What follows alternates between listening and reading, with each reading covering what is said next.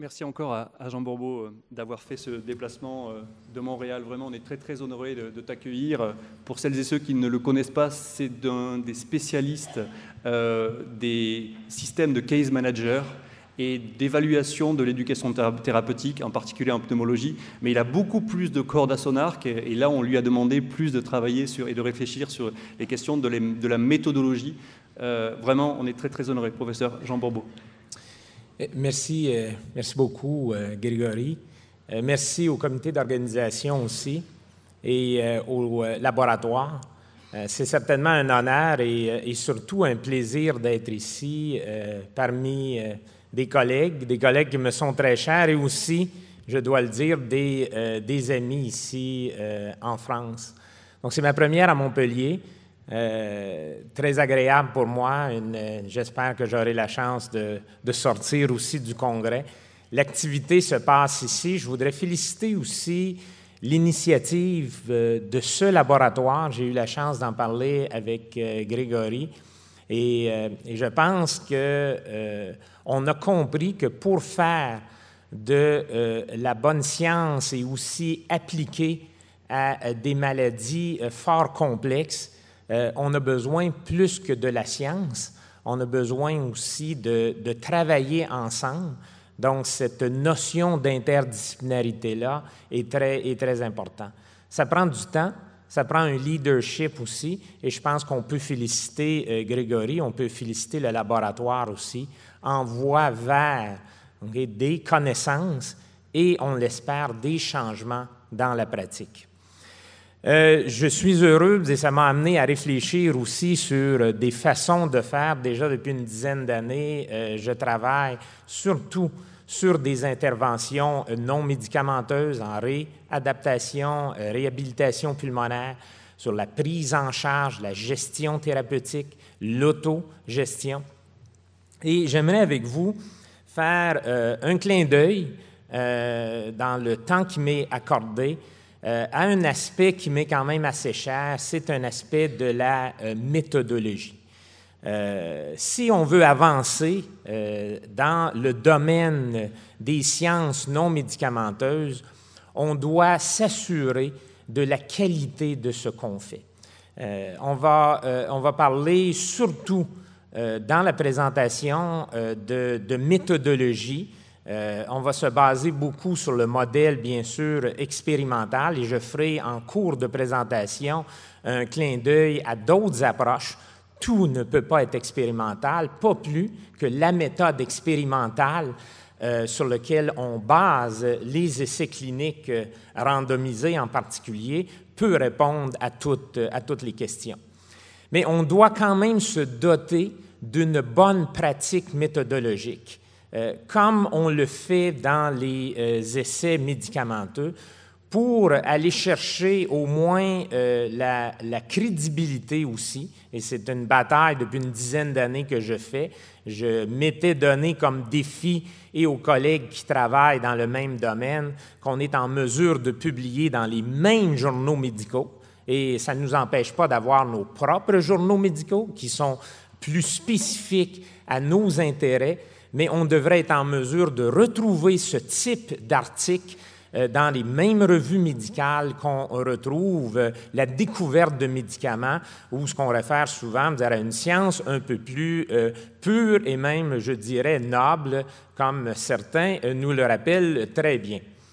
Donc, il est important de se doter et de revenir à certains principes fondamentaux. Les principes fondamentaux, ce n'est pas une panacée, euh, mais c'est euh, quelque chose sur lequel on doit se baser pour euh, avoir une, référence dans ce qu'on fait.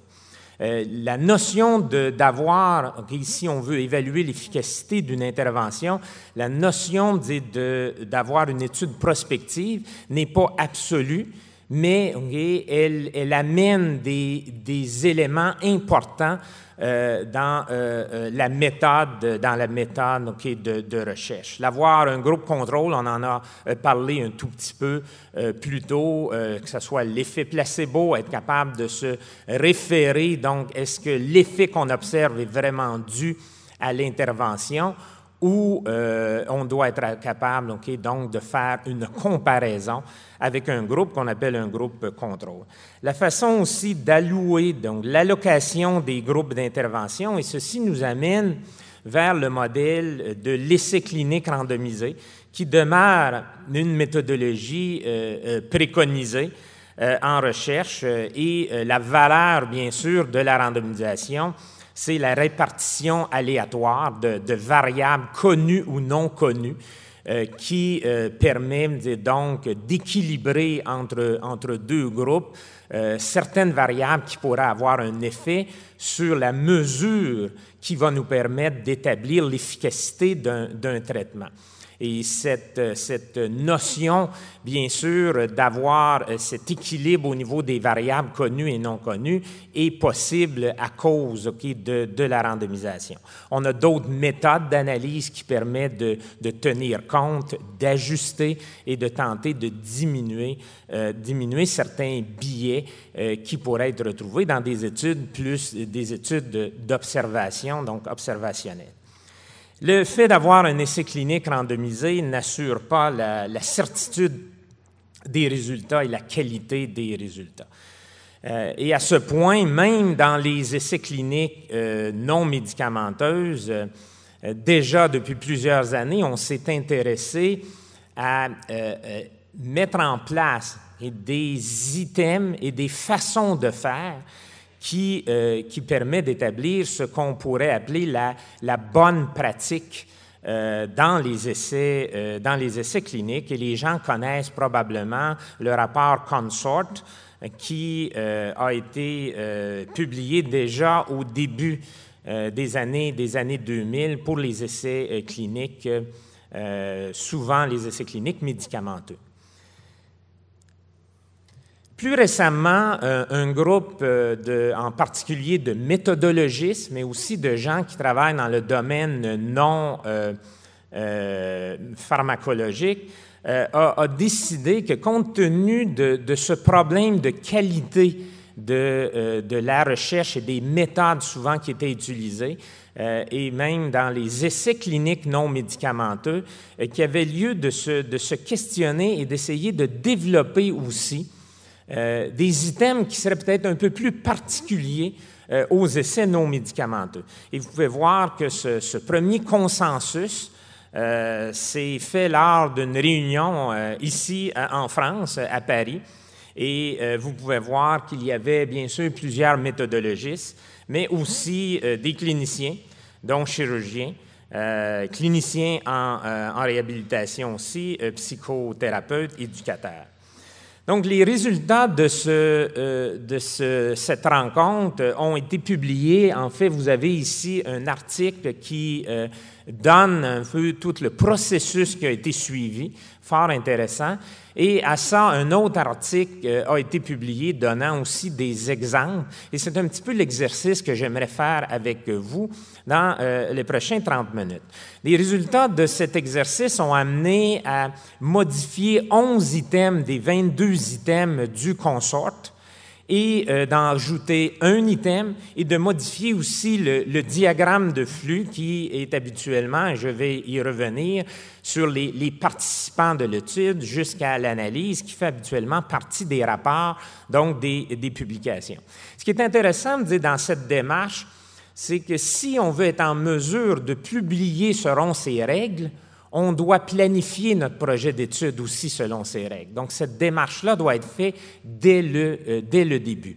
Elle nous amène à se poser des questions euh, qui euh, est important pour essayer d'améliorer nos façons de faire et d'ajouter de la crédibilité aux résultats qu'on va avoir, que les résultats soient négatifs ou que les résultats soient positifs.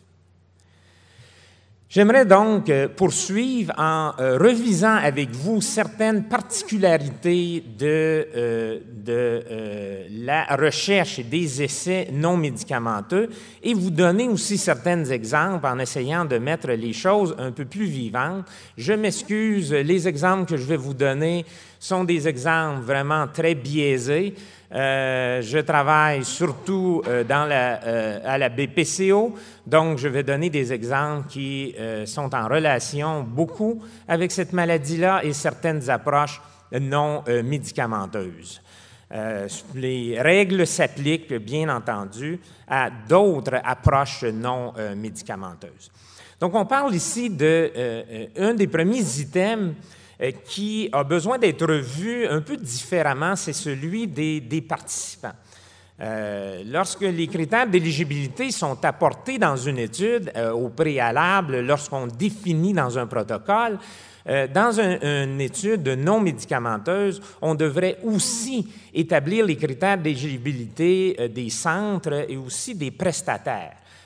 et on sait que les prestataires et les centres, plus le volume est important, euh, d'une pratique donnée, qu'il s'agisse d'une chirurgie, qu'il s'agisse de notions d'éducation thérapeutique ou euh, réhabilitation, par exemple, que le volume est directement proportionnel à l'efficacité. Donc, plus le volume est important dans un centre, les études ont démontré que plus on a de chances de démontrer une efficacité et aussi une sécurité dans ce qui euh, est fait. Et on réfère probablement ici à l'expertise de ces milieux-là ou des, prestataires proprement dit. Donc, lorsqu'on décrit, et euh, lorsqu'on euh, lorsqu'on décrit, mon Dieu, le langage est donc, il y, a, un formatage qui, euh, je m'en excuse, euh, passer d'un Mac, des fois, à, un autre ordinateur, il y a un formatage qui, euh, qui, qui s'est perdu en cours, en cours de route. Donc, je vous donne un exemple ici d'une étude qu'on a publiée sur la réhabilitation pulmonaire. Euh, et euh, cette étude euh, comparait, en fait, c'est une étude de non-infériorité, un essai clinique randomisé, où on comparait la réhabilitation à domicile par rapport à la référence qui est la réhabilitation sous supervision dans un centre hospitalier en externe, par contre. Et la façon dire qu'on avait décrit euh, euh, l'éligibilité ici des centres, de ceux qui assuraient les interventions, euh, souvent on, s'attarde très peu, la description était, est, incomplète. Donc ici, on avait mentionné qu'il s'agissait de 10 centres, dont 8 centres universitaires et 2 centres communautaires, et que deux centres n'avaient pas d'expérience. Si on avait voulu être un peu plus détaillé, et probablement qu'on aurait dû le faire, euh, on aurait été un petit peu plus dans le, détail, à savoir euh, l'expérience avec un programme en réhabilitation pulmonaire. Est-ce qu'il y avait de fait ces centres-là avaient une expérience importante ou, non en termes de nombre de patients par année? Euh, est-ce que les patients qui étaient vus étaient vus pour la, raison de l'étude ici, donc des malades BPCO ou euh, d'autres types de maladies? Et est-ce que les professionnels responsables de l'entraînement des patients de l'étude avaient des années d'expérience, donc on aurait pu établir, et il aurait été bien de le faire? Et, c'est donc au niveau donc des prestataires et au niveau des centres, avoir un peu plus de, avoir un peu plus de détails. C'est important pour euh, être capable de juger de la validité interne, mais c'est aussi important pour être capable de juger de la validité externe. Donc, si on est en mesure de généraliser les résultats de cette étude-là à d'autres, pratiques, comme notre pratique. Le volet le plus important et le plus critique, et à mon point de vue, c'est vraiment le volet qui est le plus négligé dans, euh, tout au moins dans mon domaine euh, euh, de la BPCO, c'est vraiment la description très incomplète qu'on fait de l'intervention. Et, pensez-y deux minutes. Lorsqu'on parle à notre parallèle qui est l'essai clinique médicamenteux et tout le temps qu'on exige à passer pour régulariser le médicament qui va être donné à l'étude, à savoir que d'un centre à l'autre ou d'un patient à l'autre, ou même pour le même patient, le médicament qu'on va donner va bien comprendre ou contenir les composantes nécessaires. Et lorsqu'on fait une intervention non médicamenteuse, on, décrit ce qu'on fait, souvent avec peu de détails, et on laisse aller en quelque sorte les choses. Donc, dans beaucoup d'études qu'on voit rapportées, euh, on manque ce détail du traitement expérimental et de son comparateur. Et je donne un exemple ici. Donc, on parle d'un détail plus précis. Euh, du euh, traitement expérimental et aussi du comparateur, tant qu'aux procédures. Et à ce niveau-là, on doit être quantitatif, mais on doit aussi être souvent qualitatif. Donc, sur la même étude que euh, je vous parlais précédemment, on décrivait le groupe de traitement dit ici de référence, donc en externe la réhabilitation, et on parle ici du, programme. Le programme combine deux modalités d'exercice, donc aérobique et en force. On décrit euh, le nombre de sessions, la durée. On parle plus spécifiquement ensuite du programme aérobique et la visée de ce programme-là tant qu'à l'intensité euh, de l'exercice.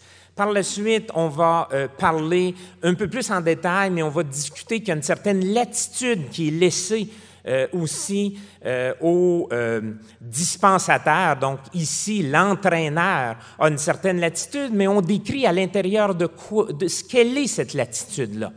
Donc c'est important de savoir est-ce qu'on a laissé toute latitude ou les ajustements qu'il était permis de faire étaient permis de faire à quel niveau?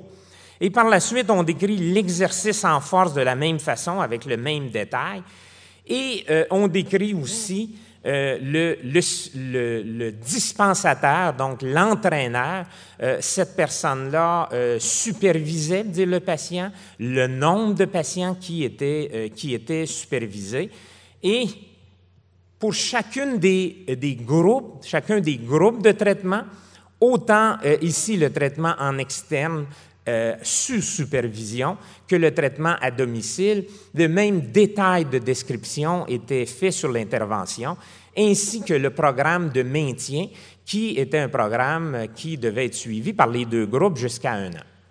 Donc, la question que vous devez vous poser quand vous planifiez votre projet ou lorsque vous rapportez les données de votre projet sur l'intervention, c'est si je ne connaissais pas ce projet-là, de la lecture que je fais, soit du protocole ou soit de la lecture que je fais de la publication, est-ce que je serai en mesure de répliquer cette intervention avec le même détail qu'on l'a fait dans l'étude?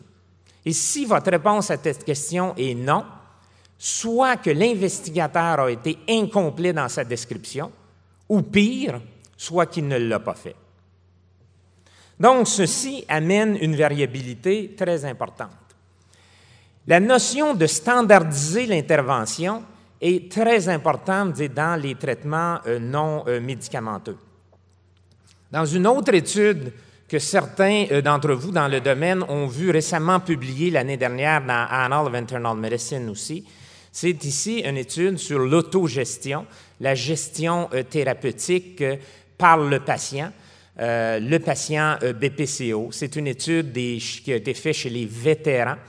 Et euh, cette étude nous donne un exemple ici, en fait, de, l'intervention et comment on a réussi à standardiser. Le problème de la standardisation pour certains traitements non pharmacologiques est, vraiment problématique. On, peut parler, par exemple, que certaines chirurgies vont être protocolisées et on revoit ce protocole et on l'inclut dans une étude de façon un peu plus, euh, un peu plus opérationnelle, je dirais. Euh, la réhabilitation, on a des façons de faire aussi qui sont, il y a de plus en plus une science derrière avec des façons de faire, des procédures à suivre, des étapes à faire aussi. Lorsqu'on parle de gestion euh, thérapeutique, euh, lorsqu'on parle d'éducation thérapeutique, euh, on est souvent un peu plus dans le mou. On est dans les, des notions de modèle et lorsque vient à mettre en place des façons de faire, on s'aperçoit qu'il manque, il manque beaucoup de ciment ok, pour être capable de mieux voir quel genre d'intervention qu'on a vraiment qu'on a vraiment à faire. Donc dans, dans l'étude auquel on réfère ici, le programme d'éducation était, euh, était décrit. Euh, on décrit les, objectifs, on décrit aussi ce que les, les, prestataires, le gestionnaire avait à faire avec le patient, tant qu'au suivi qu'il devait, qu'il devait faire. C'est aussi bon de donner référence au matériel. Ce n'est pas toujours possible de le faire dans l'étude, mais de donner, accès au site web, donner accès au matériel pour que les gens puissent voir. Euh, euh, euh, on parle de quoi lorsqu'on parle d'un programme d'éducation?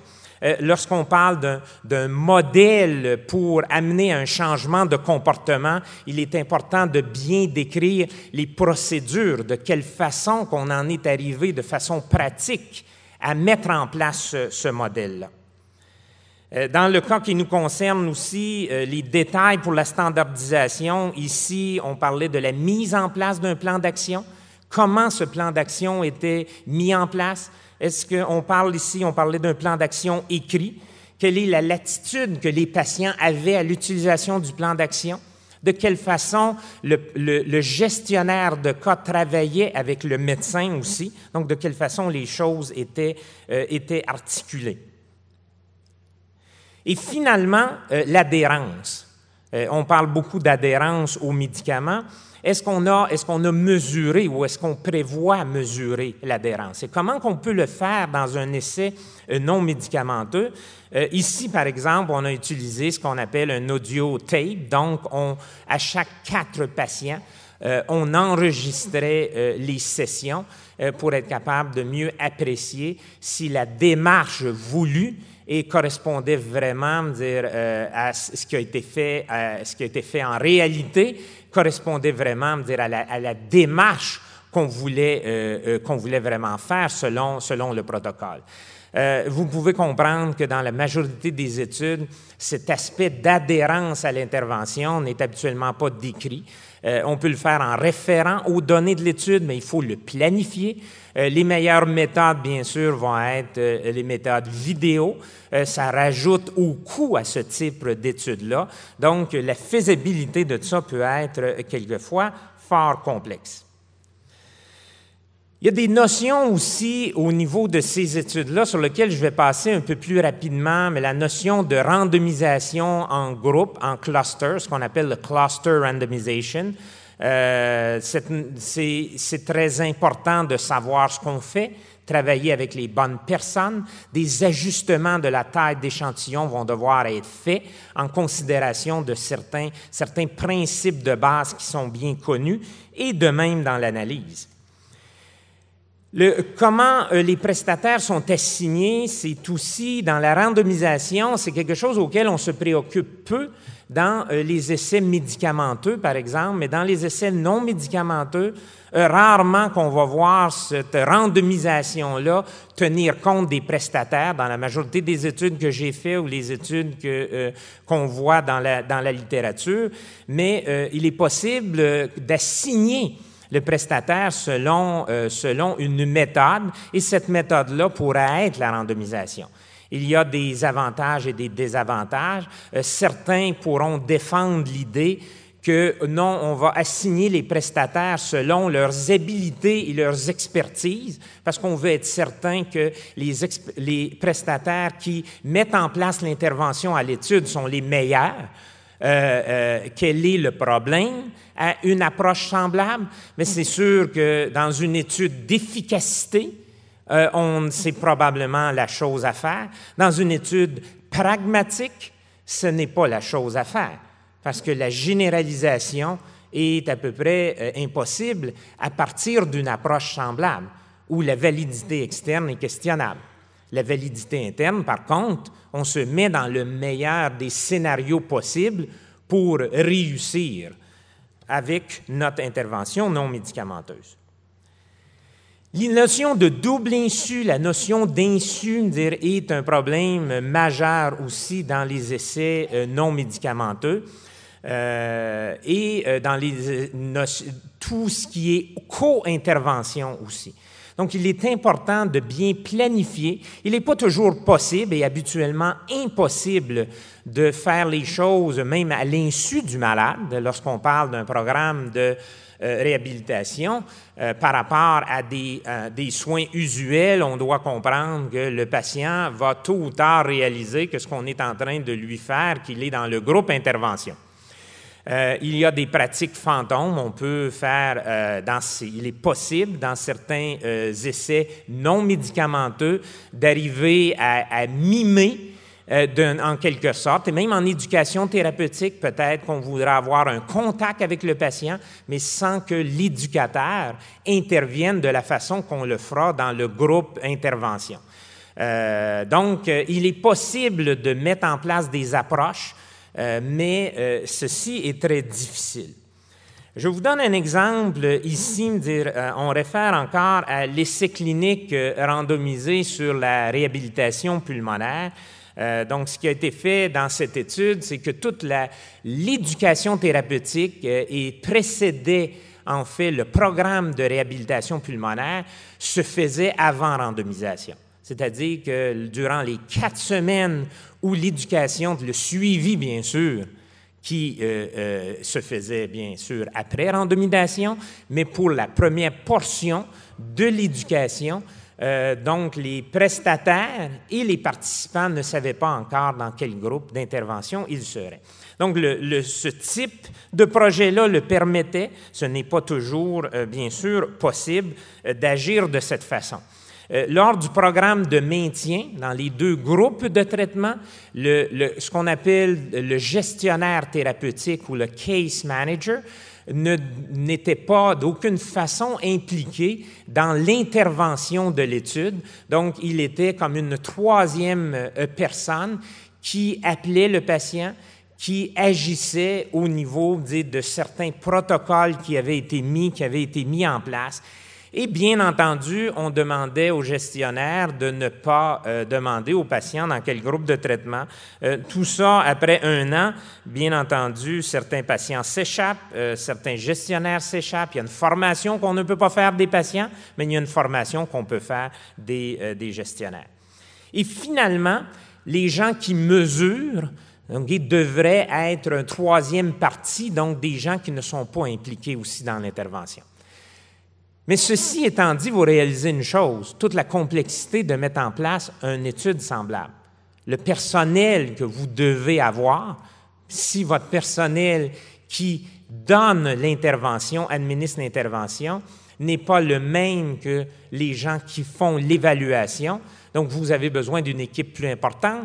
Donc, on est en train de parler d'études à des coûts aussi, qui sont souvent plus euh, important. Et lorsqu'on arrive aux organismes subventionnaires, croyez-en mon expérience, les organismes subventionnaires qui ont l'habitude d'évaluer plutôt des essais pharmacologiques, les gens qui sont assis alentour de la table de ces comités-là n'ont pas toujours la même notion que nous avons de l'importance de chacun de ces aspects méthodologiques du protocole.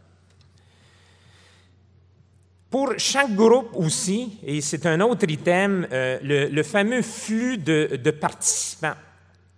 Et ça, je vous avoue que c'est quelque chose que vous allez retrouver très rarement dans la majorité des études et que vous ne retrouverez pas dans à peu près aucune de nos études publiées.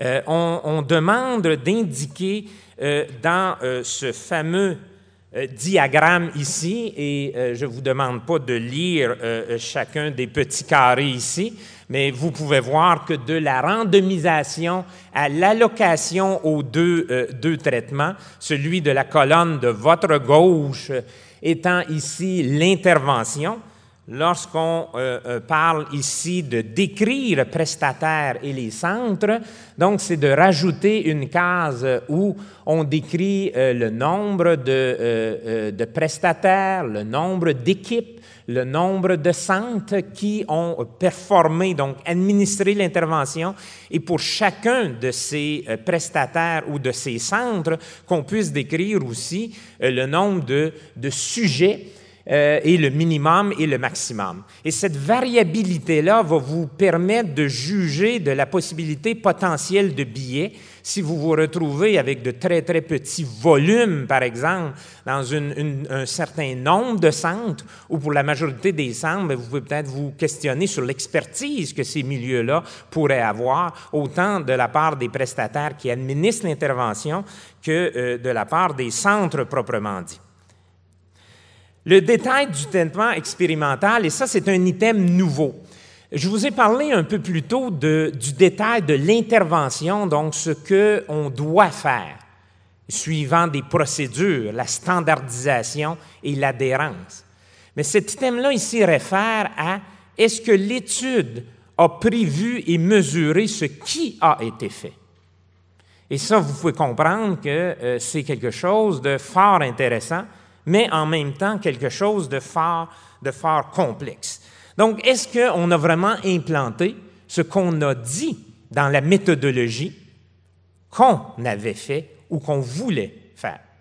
Et je suis certain que tous parmi vous qui sont en pratique et ceux qui font de la recherche savez qu'entre un manuel de procédure, la formation du personnel à faire une intervention ou à évaluer dans le cadre d'un projet, qu'il s'agisse en pratique ou qu'il s'agisse en recherche, lorsqu'on se met à évaluer ce que les gens font vraiment, on s'aperçoit de la différence entre ce qu'on voulait faire et ce qu'on a vraiment fait. Je ramène, je reviens à l'exemple des médicaments. Le médicament, on peut être certain que si le patient le prend, ou si le patient le prend selon une technique donnée pour les inhalateurs, que le médicament ou l'ingrédient thérapeutique est le même dans chacun. On devrait se poser la même question lorsqu'on fait des essais non euh, pharmacologiques.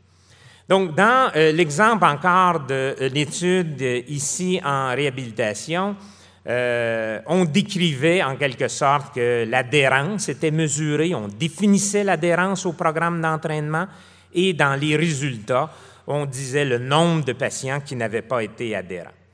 de façon plus détaillée, qu'est-ce qu'on aurait dû faire?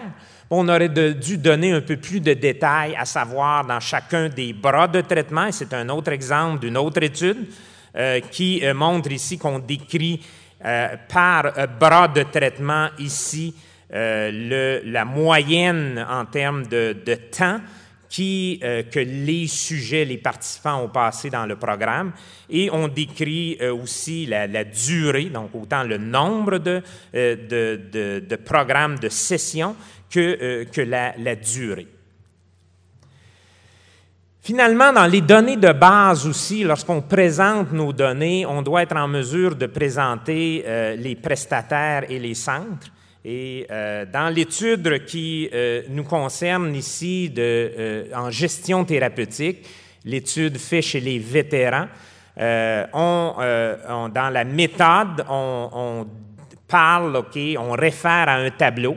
Et euh, le problème, c'est que souvent, euh, euh, il y a tellement d'informations à mettre dans un article et les gens qui publient savent que dans les journaux médicaux, on veut publier le plus grand nombre d'articles possible. Donc, de plus en plus, on réduit l'espace qu'on nous accorde à chacun des articles et on va donc nous demander de mettre en ligne, donc la possibilité d'avoir en ligne certaines informations qui ne seront pas dans l'article. Qui parmi nous à moins qu'on soit en train de faire un doctorat ou qu'on soit en train de faire un journal club, puis parmi nous va référer à euh, cette information-là en ligne, euh, je vous laisse répondre à cette, euh, à cette question. Mais l'information est au moins accessible et vous voyez ici dans le tableau, la dernière colonne sont les, les professionnels, le type de professionnel, ART, pour respiratory therapist. Donc, en français, chez nous, ce sont des inhalothérapeutes. Je sais que ces professionnels-là ne sont pas nécessairement ici.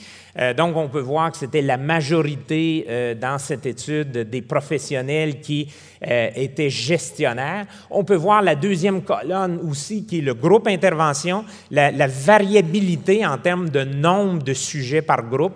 On a des, on a des centres qui avaient jusqu'à 30 patients et des centres qui avaient moins de cinq, euh, de cinq patients. Finalement, dans l'interprétation des résultats, il va être important, au-delà de discuter l'hypothèse de recherche, les sources de biais, l'incertitude et les dangers associés à la multiplicité des analyses, il va être important de discuter le comparateur. Souvent, le comparateur n'est pas bien décrit dans nos études. Donc, c'est quoi les soins usuels pour vous? Si dans une étude donnée, on réfère à des soins standards ou usuels, standards par rapport à quoi? Dans votre milieu de pratique, peut-être que vos soins usuels sont au-delà des soins dits usuels dans un autre, dans un autre milieu. Et même dans un pays donné, il peut y avoir des différences. Euh, est-ce que ce comparateur-là est défendable? Est-ce qu'il nous permet d'appliquer, donc, après, de généraliser à d'autres milieux, où on est déjà rendu quelque part ailleurs? C'est un peu le problème des essais cliniques randomisés. Au moment où on a les réponses, on est peut-être déjà rendu un peu plus loin, on l'espère, quelque part ailleurs. Donc, est-ce qu'on peut vraiment appliquer les mêmes choses ou les comparatifs qu'on a faits sont vraiment des comparatifs qui ont une validité encore externe? La notion aussi d'insu doit être discutée plus en détail et la variabilité des compétences euh, doit vraiment être discutée beaucoup plus, euh, beaucoup plus en détail. Donc, euh, je vous donne ici un exemple, encore une fois, dans l'étude dans l'étude des, des, vétérans. on, a, souvent, on, ne décrit pas avec grand détail les, limitations, donc la, manière dont euh, nos, euh, gestionnaires de cas ici ont pu administrer ou faire les choses et la limitation au niveau de l'expertise de ces gens-là. Donc ici, on dit, euh, pour les gens qui ne sont pas anglophones et pour même ceux qui peuvent lire l'anglais, on peut voir que c'est assez difficile de même lire ce texte-là, essayer de séparer les mots. Donc, dans l'étude qui nous concerne ici, au niveau de l'interprétation, on, disait qu'on n'était pas capable, on, savait que nos, euh, nos, prestataires ou les euh, gestionnaires euh, thérapeutiques ici avaient une formation différente, une expertise différente, et on ne savait pas jusqu'à quel point ça avait pu jouer dans les résultats négatifs de cette, de cette étude. Euh, est-ce que les gens avaient vraiment l'expertise nécessaire? Ils avaient peut-être juste le titre. Est-ce que la formation de trois jours était une formation euh, suffisante? Et est-ce qu'on est avait vraiment été en mesure d'évaluer que ces gens-là étaient, capables de faire ce qu'on on, voulait faire dans, dans, dans l'administration ici euh, du, de l'intervention? J'aimerais rajouter dans l'interprétation qu'il y a aussi des notions qu'on doit, euh, qu'on doit aborder lorsqu'on parle d'efficacité d'intervention non pharmacologique. Euh, et euh, c'est la notion de cible intermédiaire. Et, je suis sûr dans la salle, compte tenu euh, que plusieurs d'entre vous sont peut-être dans le domaine de l'éducation thérapeutique, sont dans le domaine de, de, changer ou de travailler à changer les comportements ou même en psychothérapie que lorsqu'on fait des études, et en particulier des études sur l'éducation thérapeutique, ce qu'on vise, ce n'est pas le changement de la connaissance, c'est le changement des comportements. Et on, hypothèse, notre hypothèse, c'est que ce changement de comportement-là, donné, donc prédéfini, va amener des résultats, euh, soit au niveau de la santé du malade, le malade va avoir une meilleure qualité de vie, où le malade va mieux utiliser des services de santé, par exemple une diminution des hospitalisations ou des visites à l'urgence. La majorité des études jusqu'à dernièrement ne s'intéressaient pas à cette cible intermédiaire qui fait partie du processus. Si on n'est pas capable de montrer ce changement de comportement-là, ou même des facteurs qui peuvent nous amener à ce changement-là, à ce moment-là, on peut dire que si notre résultat est négatif, ce qu'on a fait, c'est qu'on n'a pas été capable d'intervenir. Donc, notre intervention est questionnable peut-être dans la façon qu'elle a été appliquée, parce qu'on n'a pas réussi à changer ce qu'on appelle ici la mesure intermédiaire. Par exemple, si on veut diminuer les hospitalisations et que notre hypothèse, c'est que si on intervient plus tôt dans les exacerbations de la BPCO et qu'on permet donc aux gens de s'améliorer plus rapidement, donc les gens ont moins besoin de venir à l'urgence et à l'hôpital, on doit d'abord démontrer qu'on a un effet sur ce comportement-là. Le comportement était, étant la reconnaissance du changement des symptômes et pouvoir intervenir rapidement ou plus rapidement. Et c'est le problème qu'on a commencé à observer dans l'année dernière. L'année dernière n'a pas été une très bonne année euh, économique mais n'a pas été une très bonne année aussi pour les essais cliniques euh, publiés sur euh, l'autogestion, la gestion thérapeutique en BPCO. Donc, c'est une étude, euh, un essai clinique randomisé ici, un groupe de Glasgow.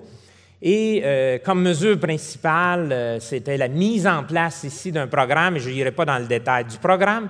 Euh, le point que je veux démontrer ici, c'est que d'une étude avec un résultat négatif, la mesure principale étant un effet sur les hospitalisations, on avait pris quand même la précaution d'évaluer l'adhérence qu'on définissait ici comme ce qu'on appelait les, successful self-managers, c'est-à-dire les patients qui étaient plus adhérents, venaient aux sessions et euh, semblaient suivre la procédure de plus près. Donc, les résultats de l'étude sont négatifs, mais on a réussi à démontrer que dans ce sous-groupe, ce sous-groupe d'adhérents, il y avait un effet sur les hospitalisations. Est-ce que ces gens-là étaient prédéfinis dès le départ? Étant déjà adhérents, est-ce que ces gens-là, au point de départ, peu importe l'intervention qu'on aurait mis en place, et aurait déjà eu moins d'hospitalisation. Donc, on ne le sait pas. Mais ça nous amène déjà, ça commence déjà à nous rapprocher de la notion de changement de comportement. Est-ce qu'on a atteint le changement de comportement désiré? Et c'est une étude ici qu'on a, euh, qu'on a fait dans un groupe, une cohorte de patients au Canada, et pour démontrer que le groupe de patients qui était adhérent au comportement visé, c'est-à-dire reconnaître les symptômes d'une exacerbation de PPCO et agir en dedans de trois jours avec la mise en place d'un plan d'action écrit, antibiotique et prednisone, qui est, pour les gens moins familiers avec cette maladie-là, le standard de traitement de ce qu'on appelle l'exacerbation de la BPCO, on a été capable de démontrer une diminution de cinq jours de la durée des symptômes. Donc, on, était, on, avait, non, on a prouvé le concept qu'agir plus tôt permet un changement de la réponse.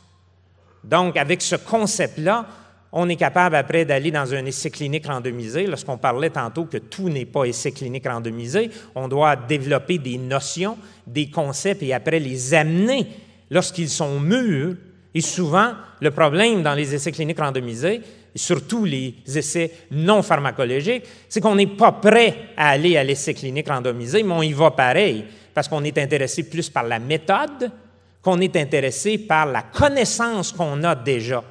Et lorsqu'on va trop vite à la méthode, qu'est-ce qui peut arriver? On a des résultats négatifs. Et des résultats négatifs, ça peut canceller complètement une intervention qui pourrait être une intervention efficace, que les gens n'adopteront pas ou que les gens vont tout simplement oublier.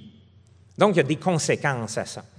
Dans l'étude dans l'étude des vétérans, encore une fois, l'étude auquel je référais un peu plus tôt, donc cette étude-là a aussi été négative.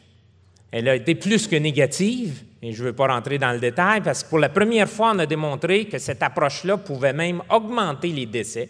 Population très malade. Les vétérans sont quand même des gens différents en général d'une population générale avec BPCO. Donc, on peut essayer d'argumenter qu'est-ce qui est vraiment arrivé. Mais la mesure principale était l'hospitalisation.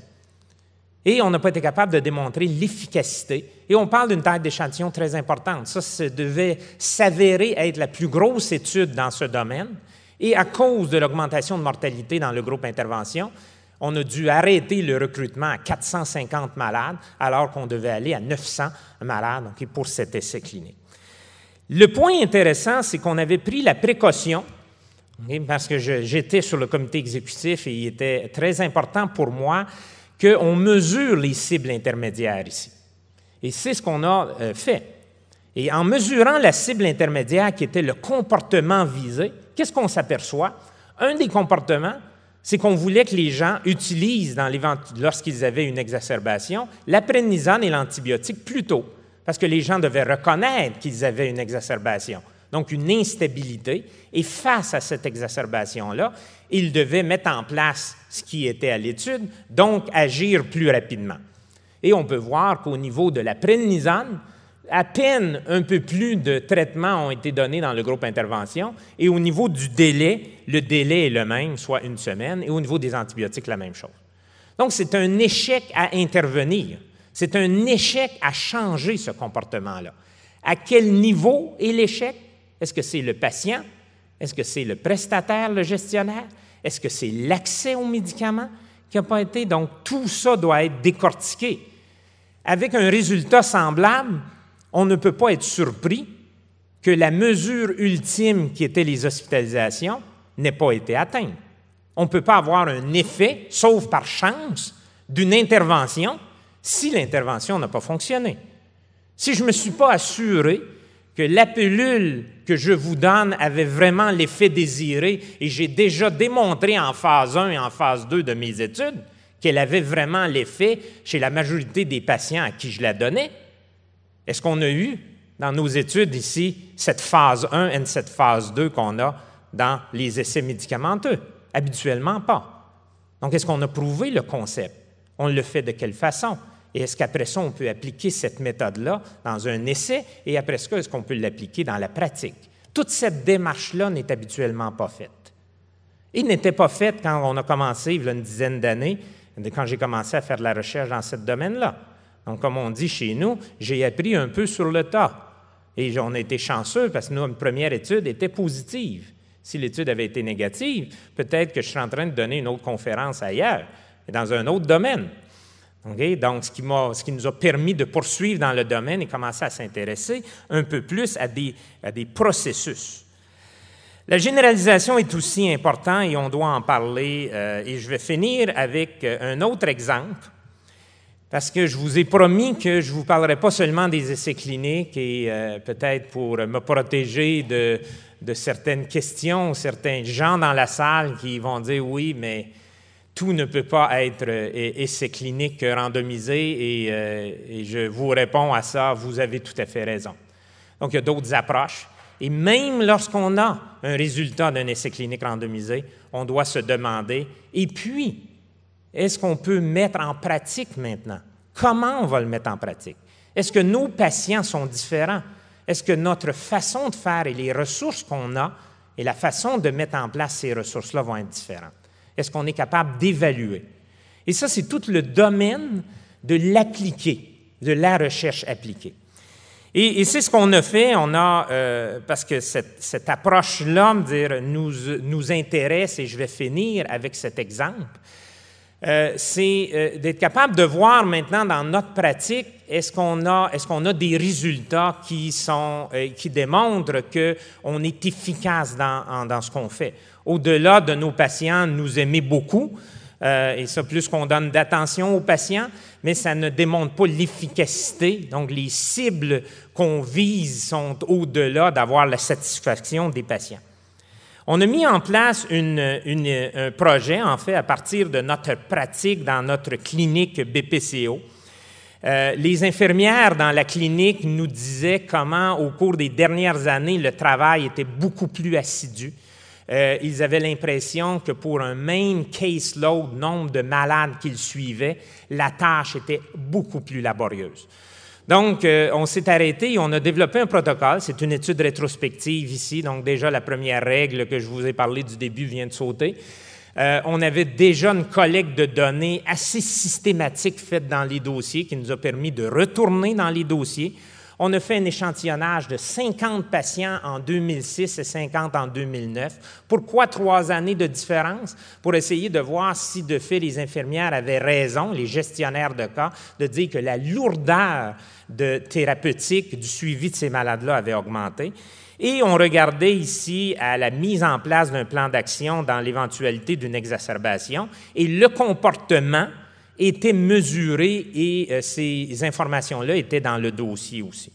Les infirmières avaient raison, comme c'est souvent le cas, les médecins ne les écoutent pas toujours, mais ils avaient raison de nous dire que oui, si vous regardez trois ans plus tard le deuxième groupe, et ce n'étaient pas les mêmes malades, les 50 malades-là étaient différents, donc les malades étaient plus sévères, avaient plus d'exacerbations. Ils avaient raison aussi quand ils disaient qu'ils passaient beaucoup plus de temps avec les malades et on peut voir une augmentation de 50% de temps passé au téléphone.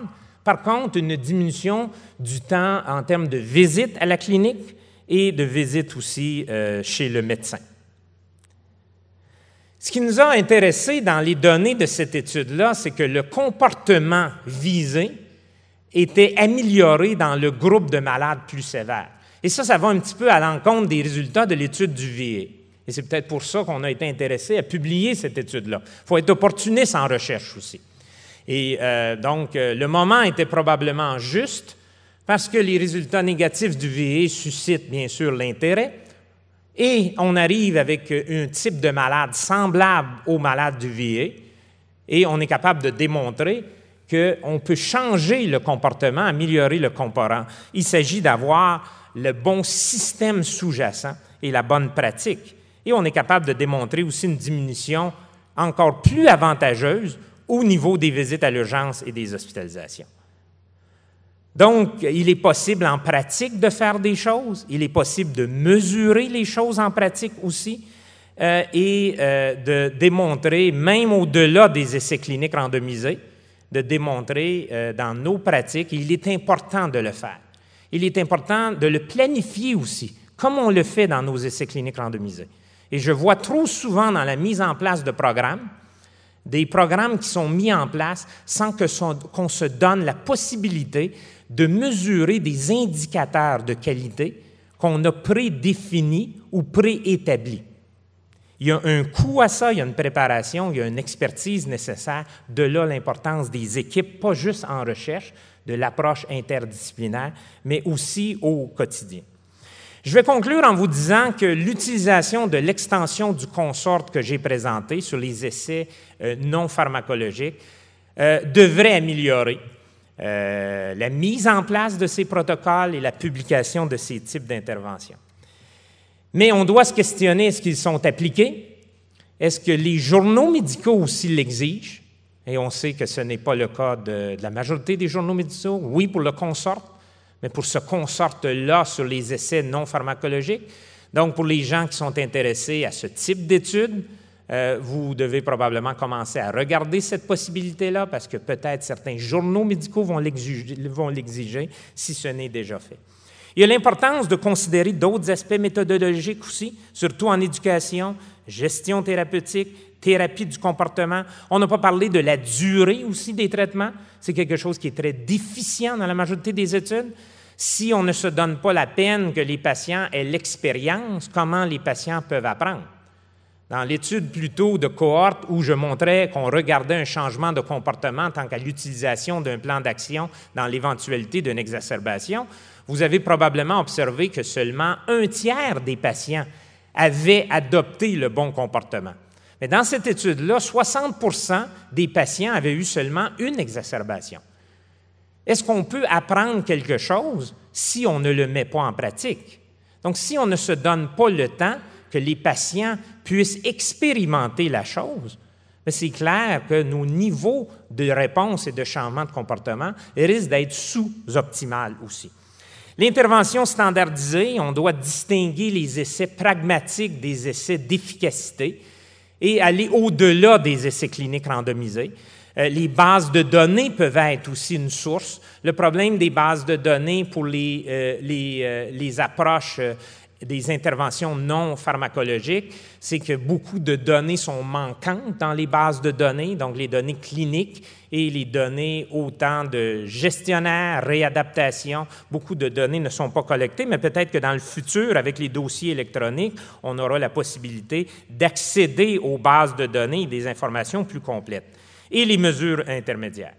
Donc, j'aimerais euh, clore aussi en vous disant que tout n'est pas essai clinique randomisé et qu'on doit ramener les choses un peu plus au pragmatique et à la pratique et qu'on doit voir, un peu comme dans nos équipes interdisciplinaires, la complémentarité de travailler ensemble. On doit aussi voir la complémentarité des différentes méthodes qu'on utilise euh, dans nos études. Et on n'a pas seulement une réponse avec une méthode, on va avoir une réponse plus complète en ayant plusieurs méthodes en complémentarité euh, avec euh, des essais cliniques randomisés. Merci.